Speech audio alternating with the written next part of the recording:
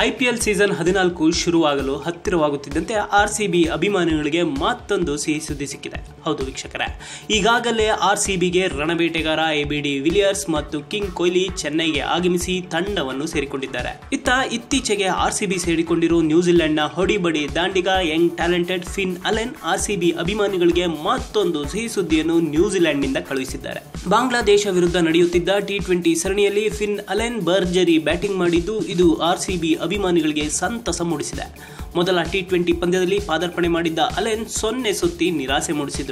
ಆದರೆ ಎರಡನೇ ಪಂದ್ಯದಲ್ಲಿ ಮೊದಲ ಬಾಲನ್ನೇ ಸ್ಟೇಡಿಯಂ ಇಂದ ಆಚೆ ಸಿಡಿಸಿ ಎಲ್ಲರ ಗಮನ ಸೆಳೆದಿದ್ರು. ಇನ್ನು ಮೂರನೇ ಟಿ ಟ್ವೆಂಟಿ ಮಳೆಯ ಅಡ್ಡಿಯಿಂದಾಗಿ ಹತ್ತು ಓವರ್ಗಳಿಗೆ ಸೀಮಿತವಾಗಿತ್ತು. ಹತ್ತು ಓವರ್ನಲ್ಲಿ ಭರ್ಜರಿ ಬ್ಯಾಟಿಂಗ್ ನಡೆಸಿದ ಅಲೆನ್ ಹದಿನೆಂಟು ಬಾಲ್ಗಳಲ್ಲಿ ಅರ್ಧ ಶತಕ ಸಿಡಿಸುವ ಮೂಲಕ ದಾಖಲೆ ಬರೆದರು. ಒಟ್ಟು ಇಪ್ಪತ್ತೊಂಬತ್ತು ಎಸೆತಗಳಲ್ಲಿ ಎಪ್ಪತ್ತೊಂದು ರನ್ ಸಿಡಿಸಿದ್ದು, ಅದರಲ್ಲಿ ಹತ್ತು ಬೌಂಡರಿ ಮತ್ತು ಮೂರು ಸಿಕ್ಸರ್ಗಳು ಸಹ ಸೇರಿವೆ.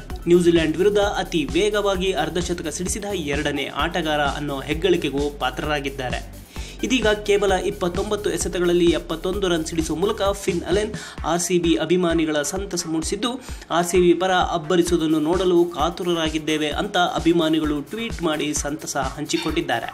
ಸದ್ಯ ಬಾಂಗ್ಲಾ ವಿರುದ್ಧ ಟೂರ್ನಿ ಮುಗಿಸಿರೋ ಅಲೆನ್ ಶೀಘ್ರದಲ್ಲಿಯೇ ತಂಡವನ್ನು ಸೇರಿಕೊಳ್ಳಲಿದ್ದು, ಕ್ವಾರಂಟೈನ್ ಮುಗಿಸಿ ಆರ್ ಸಿ ಬಿ ಬಯೋಬಲ್ಗೆ ಸೇರಿಕೊಳ್ಳಲಿದ್ದಾರೆ. ನಿಮ್ಮ ಪ್ರಕಾರ ಫಿನ್ ಅಲೆನ್ ಈ ಬಾರಿ ಆರ್ ಸಿ ಬಿ ಪರ ಆಡಲು ಅವಕಾಶ ಸಿಕ್ಕರೆ ತಮ್ಮ ಬ್ಯಾಟ್ನಿಂದ ರನ್ ಹೊಳೆ ಹರಿಸಲಿದ್ದಾರಾ? ಕಮೆಂಟ್ ಮಾಡಿ ತಿಳಿಸಿ.